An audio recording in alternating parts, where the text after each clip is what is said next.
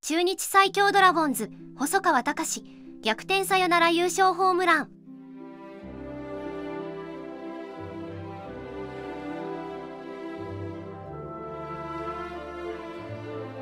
細川来た。わあ。いった。あよっしゃ。ーうわー来た。はあ。ほんまに打たれてくさ。まあそんなとこだろうと思ったよ。はあ。細川最高や。はあ。さよならだ。うおやっとトンネル抜けたか。いい加減にしろやお前ら。高しよかったね。今日はお前のおかげで勝てたぞ細川。ナイス。だから中川怖いとあれほど。全員現地ファンに土下座しろ。巨人なんて弱すぎるんだよな。中川に投げさせる方が悪い。めっちゃ嬉しい今日朝まで飲めるわ。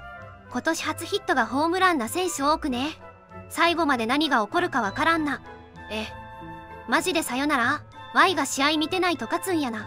細川お前ら俺に言うことあるよな。悪いところで過ぎて草も生えん。基本巨人今年も B クラス。あのクソみたいな4打席目からよく打ってるな。はあ？Y がトイレ行ってる間にさよなら負けしてるやんけ。